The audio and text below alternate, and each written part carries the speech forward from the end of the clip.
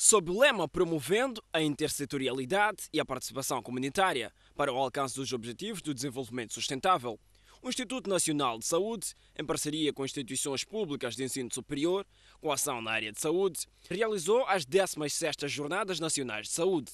O grande desafio da organização era mudar o conceito de que saúde é ausência de doença. Este era um desafio, não sabíamos se iria funcionar muito bem. Eu tive um dos participantes que chegou a, a, próximo de mim e disse que ele nunca viu tanto antropólogo e sociólogo num evento como de saúde como este.